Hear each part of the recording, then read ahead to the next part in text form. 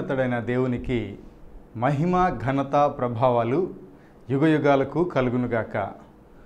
ప్రభునందు మాకు అత్యంత ప్రియులైన కల్వరి ప్రేమ ప్రేక్షకులందరికీ యేసుక్రీస్తు ప్రభు నామములో హృదయపూర్వకమైన వందనాలు తెలియచేస్తూ ఉన్నాం. ఈ కార్యక్రమాన్ని ఫేస్బుక్ ద్వారా యూట్యూబ్ ద్వారా వీక్షిస్తూ అనేక మంది మీ స్పందన మాకు తెలియచేస్తున్నారు. అందుకొరకు మేము దేవుణ్ణి ఎంతగానో స్తుతిస్తున్నాం.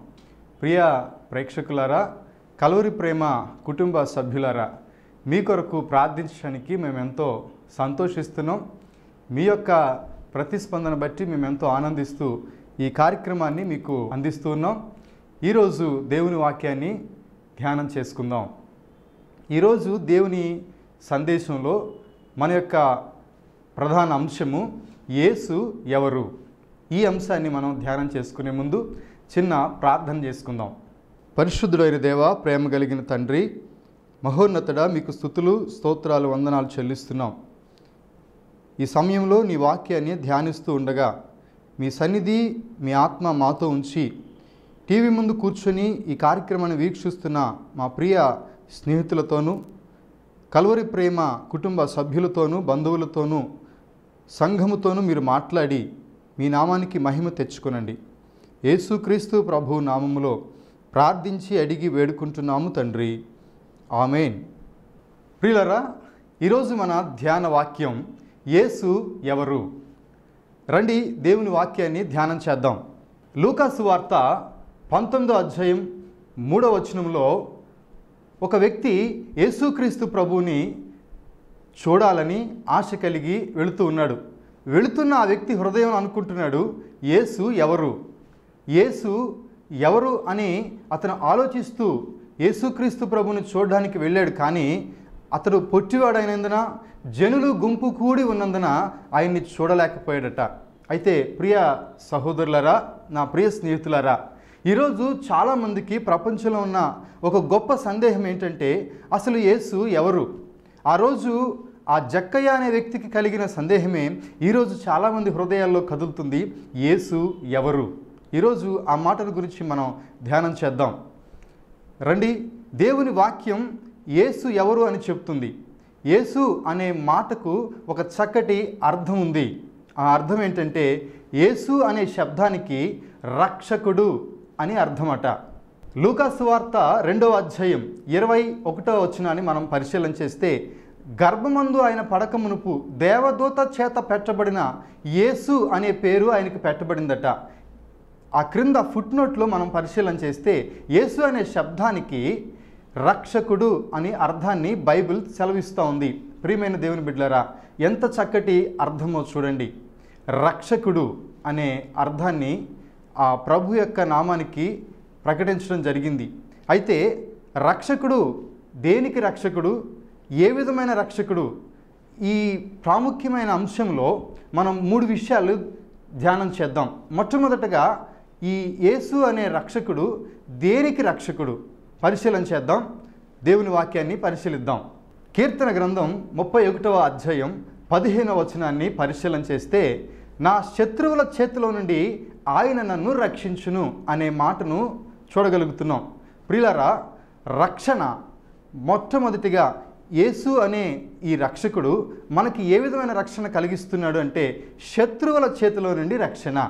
ప్రియ సహోదరి సహోదరుడా ఈ రోజున మానవుని జీవితంలో ఎన్నో రకాల శత్రువులతో యుద్ధం చేస్తూ ఉన్నాడు. మీరు అడగొచ్చు లేదా అనుకోవచ్చు నాకు శత్రువులు ఎవరు లేరు కదా? నాకు ఏ విధమైన శత్రు భయం లేదు కదా? యేసు శత్రువు నుండి రక్షిస్తాడు అని వాక్యం చెప్తుంది. నన్ను ఏ శత్రువు నుండి రక్షిస్తాడు? పరిశీలన చేస్తే మానవుని జీవితంలో అనేక మంది శత్రువులు ఉన్నారు ప్రియులరా మన జీవితంలో ఎదురయ్యే బాధలు మనకు శత్రువులు. మన జీవితంలో ఎదురవుతున్న వ్యాధులు మనకి శత్రువులు. మన జీవితంలో ఎదుర్కొంటున్న సమస్యలు మనకి శత్రువులే. స్నేహితులారా ఈరోజు మీలో కొంతమంది వ్యాధులు అనే శత్రువులతో పోరాటం చేస్తున్నారు. బాధలు అనే శత్రువులతో పోరాటం చేస్తున్నారు. సమస్యలు అనే శత్రువులతో పోరాటం చేస్తూ ఉన్నారు అయితే యేసు అనే ఈ రక్షకుడు శత్రువుల నుండి రక్షిస్తాడు అని వాక్యం చెప్తుంది. ప్రియమైన సహోదరి సహోదరుడా నీవు ఏ విధమైన శత్రువులతో పోరాటం చేస్తున్నావో నీ శక్తికి మించిన శత్రువు కొన్నిసార్లు నిన్ను ఇబ్బంది పెడుతున్నాడా? నీ శక్తికి మించిన వ్యాధి నీ శక్తికి మించిన బాధ నీ శక్తికి మించిన కుటుంబ సమస్యలు నిన్ను ఇబ్బంది పెడుతున్నాయా? అయితే దేవుని వాక్యం చెప్తుంది కీర్తనల గ్రంథం నూట పదహారవ అధ్యాయం ఆరో వచనం ఇలా సెలవిస్తూ ఉంది. కృంగిన వారిని కృంగిన పరిస్థితిలో ఆయన లేవనెత్తేవాడట. ఈ సమస్యలతో వ్యాధులతో బాధలతో నీవు కృంగిపోతూ ఉంటే నీ కృంగిన స్థితిలో నుంచి ఆయన నిన్ను లేవనెత్తుతాడు. ఒకటవ సమయుల గ్రంథం ఇరవై ఆరు ఇరవై నాలుగు వచనం చెప్తుంది ఆయన నా బాధలన్నిటిలో నుండి నన్ను రక్షించును. ప్రియ సహోదరుడా సహోదరి నీవు ఏ బాధ అనే శత్రువుతో ఇబ్బంది పడుతున్నావో పోరాటం చేస్తున్నావో నీ బాధలన్నిటిలో నుండి ఆయన నిన్ను రక్షించే దేవుడు. ఏసయ్య నీ సమస్యలో నుండి నిన్ను రక్షిస్తాడు. నీ బాధలో నుండి నిన్ను రక్షిస్తాడు. నీ వ్యాధిలో నుండి నిన్ను రక్షిస్తాడు. కనుకనే ఆయనకు రక్షకుడు అని పేరు పెట్టబడింది. మార్కు సువార్త ఒకటవ అధ్యాయం ముప్పై నాలుగో వచనాన్ని మనం పరిశీలన చేస్తే యేసుక్రీస్తు ప్రభు దగ్గరకు నానా విధమైన రోగముల చేత రకరకాల దురాత్మలు దయాల చేత పీడించబడుతున్న అనేక మంది ప్రజలు ఆయన దగ్గరకు తీసుకురాబడ్డారు. ఆయన వారిలో ప్రతివారి వ్యాధిని స్వస్థపరిచారట. ప్రతి దురాత్మ నుంచి దయ్యాల నుంచి విడిపించాడట. సహోదరి సహోదరుడా ఈ టీవీ కార్యక్రమాన్ని చూస్తున్న నా ప్రియ స్నేహితుడా మీ కుటుంబంలో నీ జీవితంలో ఒకవేళ ఎవరైనా దురాత్మల చేత వ్యాధుల చేత బాధించబడుతున్నారా పీడించబడుతున్నారా అయితే నిన్ను రక్షించడానికి నీ వ్యాధి నుంచి నీ దురాత్మ చీకటి శక్తుల నుంచి అవి పెడుతున్న బాధల నుంచి రక్షించే దేవుడు ఉన్నాడు. ఆయనే నజరైడైన యేసు రక్షకుడు. ఆయన దగ్గరకు ఎంతోమంది దురాత్మలు దయ్యాలు పట్టిన వారిని తీసుకొచ్చినప్పుడు ఆ దయ్యాలు ఆయన చూచి విలవెల్లాడిపోయినట కేకలు వేసినాయట. సర్వోన్నతమైన దేవుని కుమారుడా మాతో నీకేం పని? మమ్మల్ని బాధించడానికి వచ్చావా అని ఆయన స- ఆయన పాదాల ఎదుట సాగిలపడి నమస్కారం చేసినట ఆయన మాటతో వాటన్నిటిని గద్దించి వెళ్ళగొట్టాడు. ఏసయ్య ఒక మాట చెప్తే చాలు ఈరోజు నీ కుటుంబంలో ఏ దురాత్మ చీకటి శక్తులతో చేత నీవు పీడించబడుతున్నావో వాటి నుంచి విడిపించబడతావు. ఏసయ్య ఒక మాట చెప్తే చాలు ఈరోజు నువ్వు ఏ సమస్యలతో బాధలతో కృంగిపోతున్నావో వాటి నుంచి విడిపించబడతావు. ఆయన నిన్ను రక్షించడానికి దిగి వచ్చిన దేవుడు. రెండవదిగా యేసు రక్షకుడు. దేని నుండి రక్షిస్తాడు అంటే పాపము నుండి రక్షిస్తాడు. మొదటిగా శత్రువుల నుండి రక్షించే దేవుడు రెండవదిగా పాపము నుండి రక్షించే దేవుడు. ఈరోజు ప్రపంచంలో ఉన్న ప్రతి మానవునికి ఉన్న ప్రధానమైన సమస్య పాపమే. ప్రియ సహోదరి సహోదరుడా స్నేహితులరా మనిషికి వ్యాధి వస్తే హాస్పిటల్కి వెళ్ళి బాగు చేసుకోవచ్చు. సమస్య వస్తే పరిష్కరించుకోవచ్చు. కానీ పాపము అనే ఈ ప్రధానమైన శత్రువుని జయించటం ఈ లోకంలో ఏ మనిషికి సాధ్యం కాలేదు. మహానుభావులు మహాజ్ఞానులైన వారు కూడా పాపాన్ని జయించలేకపోయారు. ఎంతోమంది అవతార పురుషులు ఈ లోకంలోనికి మానవుణ్ణి పాపం నుంచి విడిపించాలని వచ్చారు. కానీ పాపం వారు కూడా ఈ పాపపు అనే మాయలో చిక్కబడి పాపంలోనే నశించిపోయారు. కానీ యేసుక్రీస్తు ప్రభు ఈ రక్షకుడిగా ఈ లోకానికి దిగివచ్చి పాపము నుండి రక్షించాడు. దేవుని వాక్యం ఇలాగ సెలవిస్తుంది. తన ప్రజలను వారి పాపము నుండి రక్షించుటకు ఆయన ఈ లోకానికి వచ్చాడు అని. ప్రియ సహోదరుడా సహోదరి యేసు ఈ లోకములో ఉన్న ప్రతి మానవుని పాపం నుండి రక్షించడానికే ఈ లోకానికి పరిశుద్ధునిగా దిగి వచ్చాడు. ఈ రోజున ప్రపంచంలో ఉన్న ప్రతి మానవుని పాపాన్ని పరిహరించడానికే ఆయన కలవరి సిలువలో తన పవిత్రమైన పరిశుద్ధమైన రక్తాన్ని చిందించాడు. మానవుని యొక్క పాపాన్ని పరిహరించడానికి మానవుడు ఎన్నో రకాల ప్రయత్నాలు చేస్తున్నాడు. ఎన్నో రకాల బలులు ఇస్తున్నాడు. రక్తాన్ని అర్పిస్తున్నాడు. కానీ గొర్రెల యొక్కయు కోడెల యొక్కయు రక్తము మనిషి పాపాన్ని పరిహరించలేదు. వాటికి అటువంటి పవిత్రత లేదు. అందుకే ప్రభువే స్వయంగా ఈ లోకానికి దిగివచ్చి పరిశుద్ధంగా జన్మించి తన పరిశుద్ధమైన రక్తాన్ని మానవుని పాప పరిహారం కోసం పరి క్రయధనంగా చెల్లించాడు. ప్రియ సహోదరి సహోదరుడా ఈరోజు నువ్వు ఏ పాపంలో ఉన్నా ఏ రకమైన శాపంలో ఉన్నా దాన్ని పరిహరించగలిగిన దేవుడు యేసుక్రీస్తు ప్రభు మాత్రమే. ఆయన తన ప్రజలను వారి పాపమును రక్షించిన గనక ఆయనకి యేసు అని పేరు పెట్టారని లేఖనం సెలవిస్తూ ఉంది. మూడవదిగా పరిశీలన చేద్దాం. హుషయ గ్రంథం పదమూడు అధ్యాయం పద్నాలుగో వచనాన్ని పరిశీలన చేస్తే అక్కడ దేవుని వాక్యం చెప్తుంది మృత్యువు నుంచి రక్షించే దేవుడు అని. మరణం నుంచి రక్షించుట యహోవా వశమట. ప్రియా సహోదరుడా సహోదరి యేసు అనే ఈ రక్షకుడు మొట్టమొదటిగా శత్రువు నుంచి రక్షిస్తాడు. వ్యాధుల నుండి బాధల నుండి సమస్యల నుండి దురాత్మ చీకటి శక్తి నుండి రక్షిస్తాడు అని తెలుసుకున్నాం. రెండవదిగా పాపము నుండి రక్షించే దేవుడు. ఈ లోకాన్ని పాపం నుంచి రక్షించగలిగిన వారు ఎవరూ లేని సమయంలో ఆయన పరిశుద్ధంగా దిగివచ్చి ఈ లోక పాప పరిహారార్థం తన పరిశుద్ధ రక్తాన్ని చిందించి పాపం కొరకు పాపంలో ఉన్న ప్రజల కొరకు ఈ లోకానికి దిగి వచ్చిన మహాదేవుడు యేసుక్రీస్తు ప్రభు. మూడవదిగా ఆయన మరణం నుండి రక్షించే దేవుడు. ప్రియ స్నేహితులరా ఈ లోకంలో ఉన్న ప్రతి మనిషికి ప్రధానమైన అత్యంత ప్రమాదకరమైన శత్రువు ఎవరంటే మరణమే. ఈ లోకంలో మనిషి దేనైనా జయించవచ్చు దేని ముందైనా ధైర్యంగా నిలబడొచ్చు కానీ ఎంత బలవంతులైనా ఎంత ధనవంతులైనా ఎంత జ్ఞానవంతులైనా మరణం ముందు నిలబడలేరు. నేను మహాజ్ఞానిని కదా ఈరోజు నీవు నన్ను తాకొద్దని మరణంతో చెప్పగలిగిన జ్ఞానులు ఎవరు లేరు.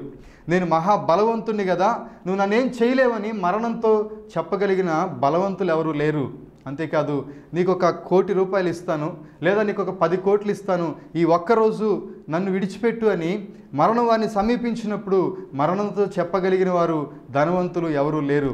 మరణం దేనికి లొంగదు.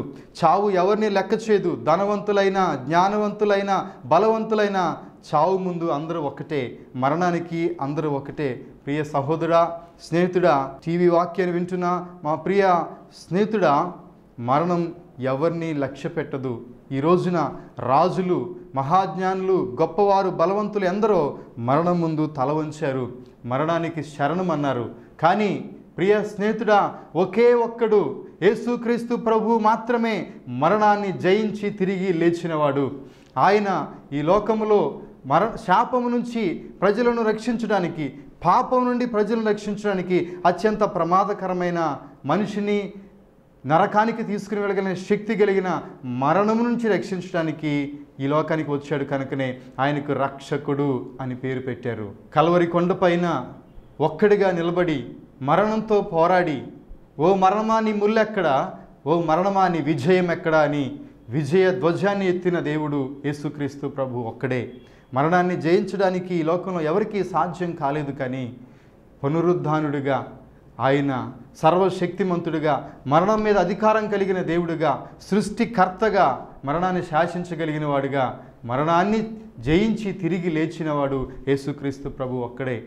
కనుకనే ఆయన రక్షకుడుగా పిలువబడ్డాడు. ప్రియ సహోదరుడా సహోదరి ఈ రోజున మానవుని రక్షించడానికి పాపం నుండి రక్షించడానికి శాపం నుండి రక్షించడానికి మరణం నుంచి రక్షించడానికి యేసుక్రీస్తు ప్రభు ఈ లోకంలో జన్మించాడు. పరిశుద్ధంగా ఈ లోకంలో జీవించాడు. మానవుని పాపము నిమిత్తమై తన అమూల్యమైన పవిత్రమైన రక్తాన్ని చిందించాడు. మనిషిని పీడిస్తున్న మానవుని మానవునికి అత్యంత ప్రమాదకరమైన శత్రువైన మరణం నుంచి మనిషిని విడిపించడానికి ఆయన కలవరి కొండపై ఆ మరణంతో పోరాడాడు. చనిపోయి మూడు దినాలు సమాధిలో పెట్టబడి మూడవ దినాన్న మరణాన్ని జయించి తిరిగి పునరుద్ధానుడిగా లేచిన దేవుడు యేసుక్రీస్తు ప్రభువే. దేవునికి మహిమ కలుగునుగాక. ప్రియ సహోదరుడా ఆయన గనక నువ్వు విశ్వసిస్తే ఆయన యందు నీవు నమ్మిక ఉంచితే యేసుక్రీస్తు ప్రభువుని నీ సొంత రక్షకుడిగా అంగీకరించగలిగితే నీ జీవితంలో ఎదురవుతున్న ప్రతి సమస్య నుండి ఆయన నిన్ను రక్షిస్తాడు. ఆయన పేరు రక్షకుడు. ఆయన నీవు ప్రభువుగా అంగీకరిస్తే ఆయన్ని ఆశ్రయిస్తే నీ జీవితంలో నిన్ను ఎదుర్కొంటున్న ప్రతి సమస్య నుండి వ్యాధి నుండి దురాత్మల నుండి ఆయన నిన్ను రక్షిస్తాడు. ఆయన పేరు నజరేడైన యేసు రక్షకుడు. ప్రే సహోదరుడా పాపంలో జీవిస్తూ పాపంలో పుట్టి పాపంలో పెరిగిన మానవుడిగా ఈ లోకంలో జీవిస్తున్న ప్రతి వారి కొరకు ఆయన పవిత్ర రక్తాన్ని చిందించిన దేవుడు. ఈరోజు నీవు ఆయన ఆశ్రయిస్తే నువ్వు ఏ పాపంలో ఉన్నా ఎంత ఘోర పాపంలో బ్రతుకుతున్నా నీ పాపంను కూడా క్షమించి రక్షించగలిగిన దేవుడు. ఆయన రక్షకుడు. అంతేకాదు సహోదరుడా ఆయన నీవు సొంత రక్షకుడిగా అంగీకరించగలిగితే ఆయన్ని ప్రభువుగా నీ జీవితంలోకి ఆహ్వానించగలిగితే మరణం నుంచి కూడా ఆయన నిన్ను తప్పిస్తాడు. పునరుద్ధాన శక్తితో నిన్ను నింపుతాడు. తన పరలోక రాజ్యానికి చేర్చుకుంటాడు. యేసుక్రీస్తు ప్రభువుని సొంత రక్షకుడిగా అంగీకరిస్తావా? ఆయన నీ హృదయంలో చేర్చుకుంటావా? ఈ రక్షణ నీకు కావాలా? బైబిల్లో ఒక వ్యక్తి అడుగుతున్నాడు అయ్యలారా ఈ రక్షణ పొందాలంటే నేనేం చేయాలి? హెబ్రిల్కి రాసిన పత్రిక పదో అధ్యాయ ముప్పై వచనంలో ఒక జైలు సూపరింటెండెంట్ అడుగుతున్నాడు యేసు ప్రభు యొక్క సేవకులతో అయ్యలారా ఈ రక్షణ పొందాలంటే నేనేం చేయాలి? అప్పుడు వారు చెప్తున్నారు యేసుక్రీస్తు ప్రభు ఎందు విశ్వాసం ఉంచు అప్పుడు నీవు నీ ఇంటివారు రక్షించబడతారు. ప్రియ సహోదరుడా ప్రభు ఇచ్చే ఈ గొప్ప రక్షణ పొందుకోవాలంటే కేవలం ఆయన ఎందు విశ్వాసం ఉంచితే చాలు. నీవు నీ కుటుంబం రక్షించబడతారు. శత్రువులు వ్యాధులు దురాత్మలు చీకటి శక్తుల నుంచి నీవు రక్షించబడతావు. ప్రభువుని రక్షకుడిగా అంగీకరిస్తే పాపం నుండి రక్షించబడతావు. ప్రభువుని సొంత రక్షకుడిగా స్వీకరిస్తే మరణం నుంచి రక్షించబడతావు. దేవుని నీవు హృదయంలో రక్షకుడిగా చేర్చుకుంటే. ప్రియ సహోదరుడా సహోదరి మార్కు సువార్త పదహారో అధ్యాయం పదహారో వచనం సెలవిస్తుంది. నమ్మి బాప్తీసం పొందినవాడు రక్షించబడతాడు. నమ్మని వానికి శిక్ష విధించబడుతుంది. ఎటువైపు నీవు నిలబడతావు? విశ్వాసంతో ప్రభువుని నీ సొంత రక్షకుడిగా అంగీకరించాలని నీవు ఆశపడితే ఇప్పుడే హృదయంలో ఒక చిన్న ప్రార్థన చేసుకో. ప్రభువా నీవిచ్చే ఈ గొప్ప రక్షణ నాకు కావాలి. నిన్ను నా సొంత రక్షకుడిగా అంగీకరిస్తున్నానని నాతో కలిసి నీవు కూడా ప్రార్థన చేయి. ఈ గొప్ప రక్షణ నీకు నీ కుటుంబానికి దేవుడు అనుగ్రహిస్తాడు. ప్రార్థన చేసుకుందాం.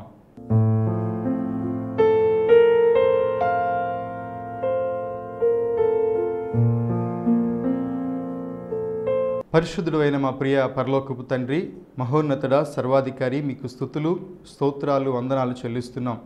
ఈ వాక్యాన్ని వింటున్న మా ప్రియ స్నేహితులను మీరు దర్శించండి. శత్రువుల నుండి పాపం నుండి మరణం నుండి రక్షించగలిగిన నీ సర్వశక్తి కలిగిన మహిమను ప్రభా విశ్వాసముతో ఈ ప్రార్థనలో ఏకీభిస్తున్న మా ప్రియులకు దయచేయండి. సమస్త శాపము నుండి సమస్తమైన పాపముల నుండి వారిని రక్షించి మరణం నుండి రక్షించి నీ పునరుద్ధాన శక్తితో నింపి నీ పరలోక రాజ్య పౌరులుగా వారిని చేయమని ఈ వాక్యాన్ని విన్న ప్రతివారు రక్షించబట్టుకు సహాయం చేయమని మా ప్రియ ప్రభు అయిన రక్షకుడైన యేసు నామంలో ప్రార్థించి అడిగి వేడుకుంటున్నాము తండ్రి. ఆమెన్. ప్రియ సహోదరి సహోదరులారా ఈ వాక్యాన్ని వింటున్న మా ప్రియ ప్రేక్షకులు కల్వరి ప్రేమ ప్రేక్షకులందరికీ ఒక చక్కటి శుభవార్త. ప్రతి నెల రెండవ శనివారం చావులపాడు మహిళా మండలి కాలనీలో ఉన్న యెహోవైరే ప్రార్థన మందిరంలో కలవరి ప్రేమ కార్యక్రమాన్ని చూస్తూ వీక్షిస్తున్న ప్రతి కుటుంబం కొరకు ప్రత్యేకంగా ఉపవాస ప్రార్థన ఏర్పాటు చేస్తున్నాం. కలవరి ప్రేమ ప్రేక్షకులకు ఈ టీవీ వాక్యాన్ని వింటున్న మీ జీవితంలో మీ కుటుంబంలో ఏదైనా సమస్యలు కానీ ప్రార్థన మనవులు కానీ ఉన్నట్లయితే ఈ క్రింద స్క్రోల్ అవుతున్న ఫోన్ నెంబర్కి వెంటనే మీ అవసరాలు మాకు తెలియచేయండి. మీ కొరకు ప్రార్థించడానికి నేను మా సంఘం ఎల్లప్పుడూ సిద్ధంగా ఉన్నాం. కనుక ఈ అవకాశాన్ని ప్రతివారు కూడా వినియోగించుకోండి. స్క్రీన్ మీద కనబడుతున్న ఈ నెంబర్కి ఫోన్ చేసి కలవరి ప్రేమ కార్యక్రమాన్ని మేము చూసాము మా యొక్క ప్రార్థన మనవులు మీకు తెలియచేయాలని ప్రా ఫోన్ చేశామని చెప్పి మీ అవసరాలు మాకు చెప్పండి. ఒక ప్రత్యేకమైన డైరీలో మీ యొక్క పేరు మీ ప్రార్థన మనవులు రాసి ప్రతిరోజు ప్రత్యేకంగా మీ కొరకు ప్రార్థన చేయడం జరుగుతుంది. అలాగే ప్రతి నెల రెండవ శనివారం జరుగుతున్న ఉపవాస కూడికల్లో అనేక మంది సంఘ బిడ్డలు ప్రత్యేకంగా ఉపవాసం ఉండి మీ కొరకు మీ కుటుంబ సమస్యల కొరకు ప్రార్థన చేస్తారు ఈ అవకాశాన్ని ప్రతివారు తప్పక ఉపయోగించుకోండి దేవుడు మిమ్మల్ని మీ కుటుంబాన్ని దీవించునుగాక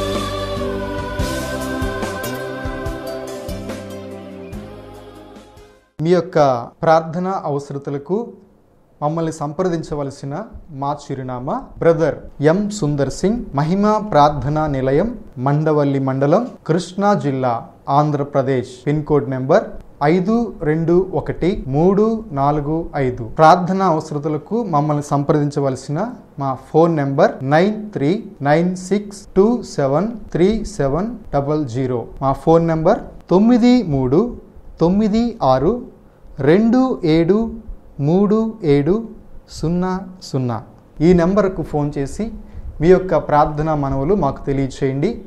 మీ కొరకు తప్పక ప్రార్థిస్తాం.